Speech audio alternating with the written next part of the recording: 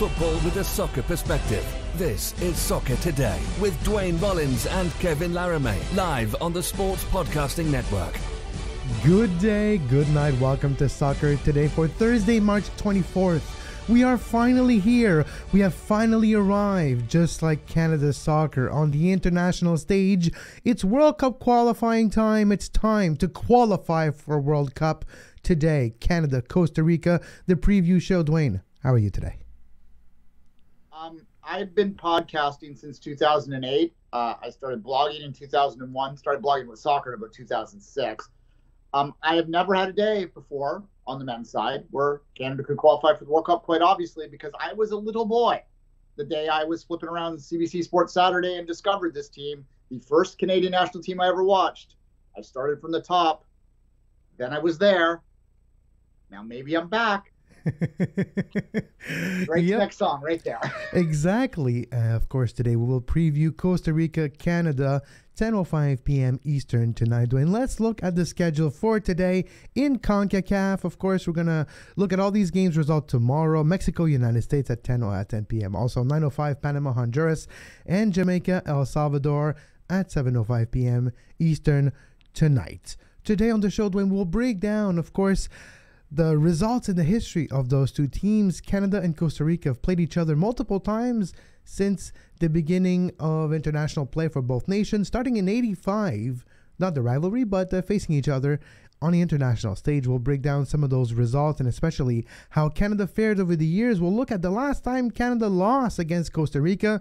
It's not that recent. You have to go almost a decade ago to see Costa Rica, the Ticos, beating Canada. But Duane, let's start by talking about teams that have qualified for the World Cup already. Because earlier today, or last night, to be quite honest, we had a couple teams qualify for the World Cup. Added to the tally, let's look at who we have. Saudi Arabia and Japan punched their ticket last night, with South Korea also. But here are all your teams qualified so far for Qatar 17 teams. 15 remaining to qualify for this last 32 teams World Cup. Qatar, Germany, Denmark, Brazil, France, Belgium, Croatia, Spain on one side. Serbia, England, Switzerland, yes, England is going. Serbia is going to. Netherlands, Argentina, Iran are added to South Korea, Japan, and Saudi Arabia that we talked about. And later today, maybe more teams will be added to that tally, just like Canada, Duane. Let's hope so. Yeah, I, I, believe Mexico and Canada could qualify tonight if Mexican results go right. I'm not sure if the U.S. can qualify outright, but I do believe they can clinch that fourth place game this evening with their results. Yeah, they're going to come fast and furious right now. And uh, I, I, tell you what, Japan, glad, glad to hear Japan qualified because, first off, Japan's a cool country.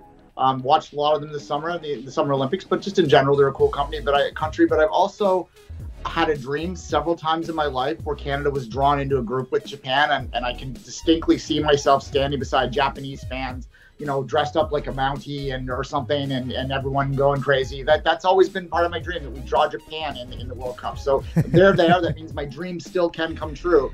I uh, just need one more point in this round. One out of nine points. That should not be too hard to get. No, and you're absolutely right. Canada win tonight also would make it even easier a Canada win qualifies them for Qatar, of course, beating Costa Rica.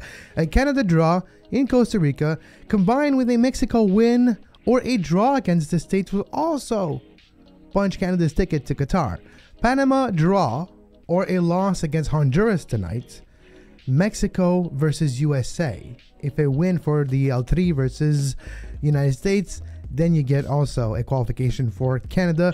Those are the three scenarios for the Canadian national team heading into this Costa Rica game, Duane. And tonight's game against Costa Rica is not the first one. We have seen these two teams face each other multiple times. Here are some of those statistics. All competitions, Canada has six wins, eight losses, nine draws against Costa Rica, 17 goals for, 22 goals against in a minus 5 differential. But what I was surprised by in my research is Canada's last loss against Costa Rica goes all the way back to May 28th, 2013, a friendly between those two teams. And the last time Canada qualified for the World Cup, Canada did get two draws against Costa Rica in the lead up to their qualification in 1985. History works in mysterious ways and in cycles. Usually, when Canada gets results against Costa Rica, at least that one time, they went to the World Cup, Duane.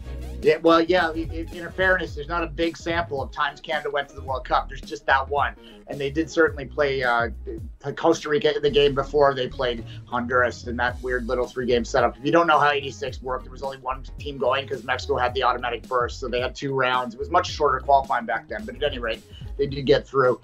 Um, just you were listing up all the probabilities there uh, to make to reassure yourself a little bit more, folks. Like just doing the quick probability math in my head just even using a basic 33, 33, 33 likelihood of each, each result, win, loss, draw, that basically means it's about a 6.5% chance Canada does not qualify tonight. So almost 90. And, and just to reassure everybody, Canada is at least assured to play to finish fourth. They cannot finish fifth. So Canada will at least, at minimum, play a home and away series to go to Qatar. If for any reasons they slip up on a banana peel three times this window. Yeah, well, in, quick correction, they've changed the format because of COVID, so it's only a one game playoff, but it would be in Qatar. So they will go to Qatar. As I said the last window, Canada's qualified to go to Qatar. Regardless if it's exactly yeah. play in World Cup, it's the same thing. Yeah. But we saw the stats, all competitions. But you can't really compare friendlies and World Cup qualifying, Duane, and especially in what I do as a statistician. And the second, the third effort of players is different. Like it's it's like looking March Madness resumes today, so it's like looking at a regular college basketball game and looking at a at a March Madness game where it doesn't end the same way. You go a little harder, you try a little harder. Not that you don't try hard, but there is that inevitability of a loss, right? So that does compare only to itself. Here is, I'm going to get the right graphic in one second. Let's get the history of Canada versus Costa Rica in World Cup qualifying because that is interesting to me. Two wins, three losses, two draws. Not great, but not bad. Five goals for, eight goals against for the Canadian men's national team against Costa Rica in World Cup qualifying. But this does lead to a good possibility tonight, Duane, because we have to take history with a grain of salt when we talk about Canada. This generation, it's the best in the history of this nation. So you cannot necessarily compare it to the ones before. It's like comparing an outlier to the rest of the day, the sample size of the data. It doesn't make any sense. So for this team and what can happen tonight, I can only compare to what I've seen before between the two teams. And we'll break down my starting 11 later in the show. Here are the stats between Canada and Costa Rica in November, November 12th, in Edmonton. The first game between the two this window. Jonathan David scored the only goal in this game at the 57th minute. Canada played better than the score would indicate 62% possession, 38% for Costa Rica.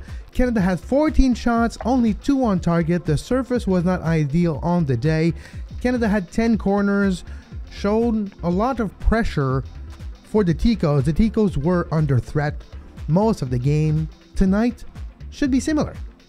Yeah, I was at that game in Edmonton. Um, the, a lot of the attention goes to Iceteca the game against Mexico for good reason. I mean, obviously that was an epic moment in the program's history, and the snow and the weather was outside outrageous that day. But that that game out there was not quite as challenging of conditions, but it was challenging conditions, and there was an argument to be made that the condition of the pitch, which was not great, um, actually favored Costa Rica, which is the less skilled team in that environment. And, and look, they Costa Rica sort of balanced their, their play towards Alphonso Davies in that game. Um, Canada had a little trouble breaking them down in time, but they were very patient in it throughout it. They were able to to eventually find their moments, and they got the goal from Cyle Larin in the game, and, and, and ultimately closed it out quite easily. I mean, we were stressed in the crowd, of course we were, but Jonathan, just, just to correct, Jonathan David is the one that scored in this one, but yes. Oh, I apologize. Anyway, so yeah, someone scored and they closed the game out. And it, it was uh, really a uh, it was a consistent and good effort across the board by them that night. And you know, it set themselves up nicely for that next Mexico game. But we we don't think a lot of that Costa Rica one, and we haven't thought a lot about this one because I think a lot of the attention has been we got to sell the tickets for Sunday, and we've got to make sure that we meet them at the airport when they get back, and all this sort of detail stuff that you know they got to get a job done tonight. But I guarantee you that who has focused on this, who has doing the job, is John Herdman and that coaching staff. And quickly, you mentioned March Madness, Kevin. Just a quick, I haven't been paying much attention. I had Tennessee in my bracket. Am I good? No, no, you're not. Okay. Uh, right. uh, maybe you have Kentucky too, so yeah, you just just don't look at it. Okay. I All right. can- Just I don't can- bother looking. And and I can tell you, I can tell you, well, you're not in the money. Don't worry about it. Okay. All right. Okay. Cool. Right, You, you should you should send me the twenty bucks because I am in the money, of course. All right. Uh, it'll be a fun day, of course, because later today we will have the Canadian men's national team play against Costa Rica. While there's a ton of basketball games playing too, but we talked about that schedule. We'll look at that schedule again. We'll also look at the roster in a more tactical way because after this short break, I will show you what I call well, it's my eleven. It's Kevin's eleven. That sounds great off the rolls off great off the top of your tongue. And I'm also going to break down tonight's potential starting 11, looking at John Herdman's history of choices when he faces an opponent he faces before. With the recent play of the defenders included in the roster, we'll break down that selection in Kevin's 11 after this short break. You are listening to Soccer Today. Follow us on Twitter at Soccer Today SPN and like our Facebook page, facebook.com forward slash sports podcasting network. You can find the podcast version of all the shows we do on iTunes, Apple Podcast, Google Play Store, TuneIn Radio, iHeartRadio, and anywhere you get your podcast. And we're back on soccer today. Kev Laramee with Duane Rollins as now we turn our attention to the selection of the players tonight. John Herdman has been working hard, keeping a, an eye on all the potential talents. We've seen players like Ismail Kone being selected for the first time, and I think it's important to look at this roster and build what I would call my favorite part of this roster. Who can actually do something great and what starting 11 would look like with these players. So I took the potential roster now, like the actual roster. So no Alphonso Davies, of course. So I took the players we have here. I looked at what John Herdman has done in the past versus Costa Rica. I've also looked at what he has done when he has more MLS players a bit more in form. Not necessarily your Alphonso Davies, but you have the rest of the players from Europe that are so in good in good form right now. All your players are mid-season at this point, and according to my research and my skill of deduction, that is not close to Sherlock Holmes, definitely, but it's not too bad. Let's look at Kevin's eleven. That's me. I just referred myself to a third period, to a third person Duane. So I guess uh, I'm becoming insane, or maybe I'm just admitting that I already was to begin with. Here is my starting 11. Milan Borjan in net. My three-man backline. Kamal Miller, Steven Vitória, and Alistair Johnston. Alistair Johnston has been used by CF Montreal more at this position. He has been used by John Herdman more at this position. There's also a potential that maybe he plays instead of Tajon Buchanan. Buchanan comes off the bench. That's also possible. Johnston is listed as a fullback, but has been used in both position.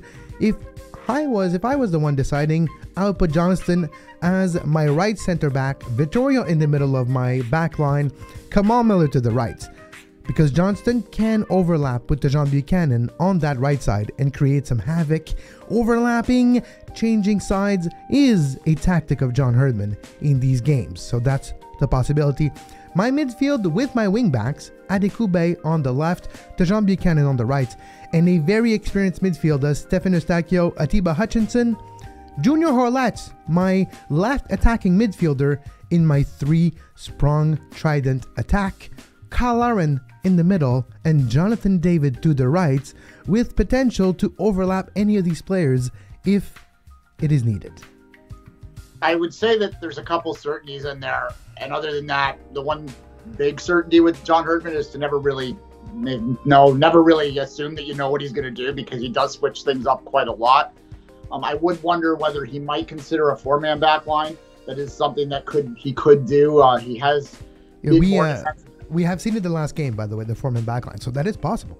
Yeah, and, look, and he likes to, like I said, he likes to mix things up a little bit sometimes. So, so expect the unexpected is what I'm saying. He also likes to move players around, switch sides on players. So even if a player starts in the left, he might go to the right for a while. He does it with Davies. When you, if you have, if you haven't heard this before, we've said this before, but I'll repeat it here.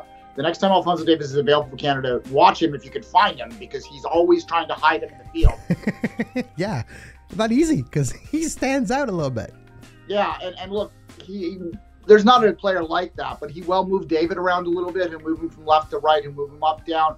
Larin's always kind of leading the line a little bit there as your pure nine with David Moore at default, but but all, all those are the two certainties. And Borjan at the back. Borjan will start this yeah. game. I'm positive that unless he's injured, he's going to start. Exactly. So those and, and I'm pretty close to the back line too. Those three guys you mentioned there, uh, Vitória Miller and and uh, Johnston, are are pretty much in pen on the lineup sheet too look, he trusts a lot of his players. He trusts all these guys. Uh, he's given runouts to folks that aren't getting a lot of time in their their clubs that are young. He's willing to take chances. That matches what he did. I mean, I've covered John Herdman for a decade now. Like this guy will always surprise you, and he will always. But one thing he doesn't surprise you with is he will always trust you. He'll throw a kid out there. He'll throw a 19 year out there. He did it on the women's side. He threw 15 year olds out there all the time. Like crazy stuff that we just would go what? And well they got two bronze medals out of it eventually. And he's getting this team to the to the world cup it appears. So eventually you have to stop doubting John Herdman and just go okay the results speak for themselves. Yeah. You, you're right. And he also has not just today in mind he also has the next two games. Because we have to think about at this point not just qualifying but also do you go for pot three? And one of our great uh, by the way every listener is great but i'm gonna say a little shout out to michael you know who you are. Michael always comments on Twitter and uh, on YouTube, and it's been great having Michael comment. And Michael asked us on the YouTube feed, by the way. Thank you for subscribing. Thank you for commenting on YouTube if you have a question, and we'll do our best to answer right away and address it on the show too. He mentioned should Canada try to get to pot three? Because making it it's not even just the case anymore. You can go from pot four to pot three. Yesterday, the whole sequence of events and what would be needed to be in which pot has been unveiled by FIFA. And when you look at this roster available for the entire window, do you have in mind your roster that you want to see Sunday and next week if you're John Herdman? And do you reverse engineer where you want your best players to play in this window, in this schedule for Canada? Because it's not just today, it's also Jamaica on Sunday and next Wednesday, Panama. Is that in John Herdman's mind before he puts his starting 11 tonight? Yeah, I think it is. Um, I, he's mentioned Pot C by name or Pot Three, depending on how you want to put it, uh, by name in, in, past interviews. It's not something that was really on many people's radar until January when they won both games in those cycles. Or when they won the three games in November, that's when you kind of go, oh, maybe this is possible. Because before that, just getting there, like we don't care who we draw, we just want to get there. Now it's like you start thinking ahead a little bit, and you don't want to get too far ahead of us we tomorrow we can get a lot ahead of us if if the tonight works out as we hope for. Um, I think after tonight or after Sunday, if worst case scenario happens, then we are going to start talking about legacy issues with this team. But I know that they are very motivated by the idea of winning the ha- not the hacks, the oct of winning this final land of qualifying. They're very motivated to get to a final um, final third, third group. I know there's rumors about big friendlies that might help them get a few more points in the June window. Brazil's the team that's mentioned, folks, and that game would likely be out west somewhere. So you can get your your attention out there for that. Finally, they'll be happy. All right. Yes, I, I, suspect that game would be in Edmonton, though. Just I don't have any inside information on that because yeah, they get sixty thousand in there. That's true.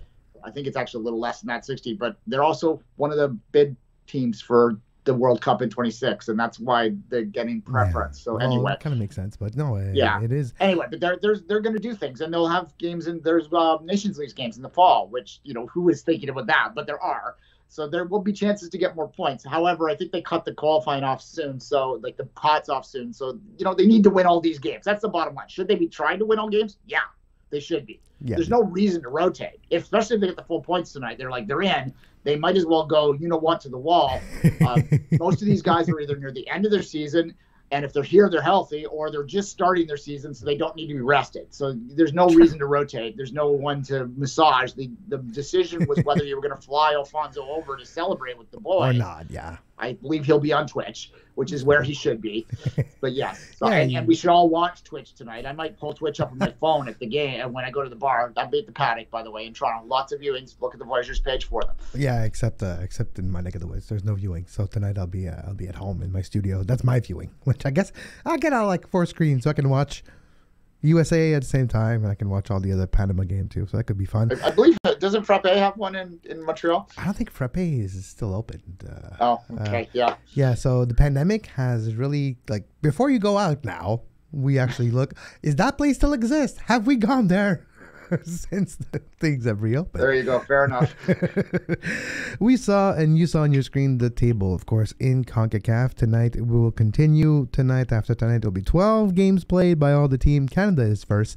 And we've talked about my potential starting 11 that we could see tonight, Duane. And in the roster we have, what player would you save? Which player you don't want to see tonight? Is there a player in this window that either you play tonight to assure the qualification, or, or how do you anticipate that selection process? Because Costa Rica is not necessarily the best team they're going to face in this window. Panama might be.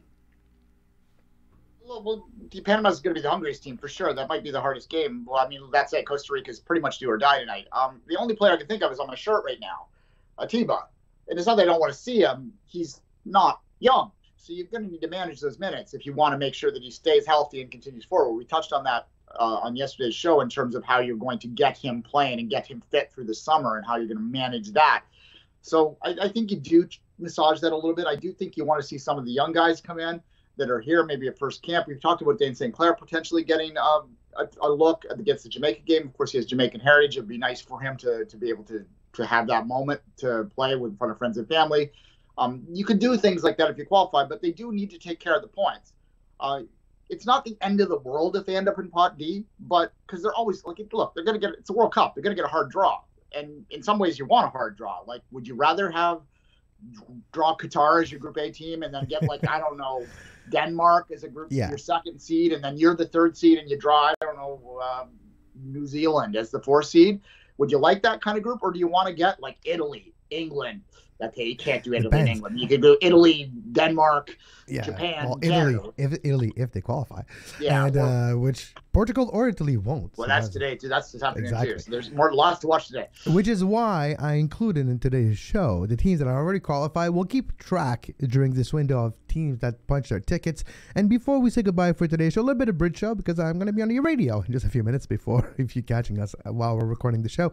Duane, Canada has shown us different ways tactically, uh, and of course, I'm going to try to keep the answer short. But we've seen Canada with brunt of the possession last time they faced Costa Rica in this tournament. 62% possession they had for Canada. Do you anticipate Canada to maybe change their approach tactically? Should they play a bit more behind the ball, a bit more of the counter attack with their speedy wingbacks in Adekugbe and Buchanan? How would you tactically approach this game with the famous possession? Should we be more of a possession and playing with the ball or more counter attack and give the onus of play to the host? I think Costa Rica is going to try and give the ball up. I, I haven't watched them play this this window. I think they're going to try and play behind the ball to hit Canada on the counter, and they'll think that that's where they can make them vulnerable. So I suspect that John Herdman will put a team out there that can possess and can create and can break them down, unlike we saw when they played in Azteca or or down in um, the United States in the, the game against them in Cincinnati. That's in Cincinnati. So yes, so that I, I think that they'll play possession because I think Costa Rica is going to make them play possession. Yeah, it's a great prediction, and we'll know more tomorrow because tomorrow we'll break that down entirety of this game, all sides of the potential results from tonight. If they qualify, we'll break it down. If not, we'll also break it down. We'll also look at all the other results in CONCACAF. And until then, you can follow Duane on social media at 24th Minute, myself at Kev Laramee, this show on YouTube every single day. You can subscribe to our YouTube channel at youtube.com slash sports podcasting network. Turn on that notification bell and you will be made aware of every new video that is uploaded to the channel. You can, of course, find the podcast version everywhere you find your favorite podcasts Apple Podcasts, Google Podcasts, Spotify, and all the other places. And as always, until tomorrow, for Duane Rollins, I am Kev Laramee. Go Canada, go, and have a great soccer. You can find the podcast version of all the shows we do on iTunes, Apple Podcast, Google Play Store, TuneIn Radio, iHeartRadio, and anywhere you get your podcast.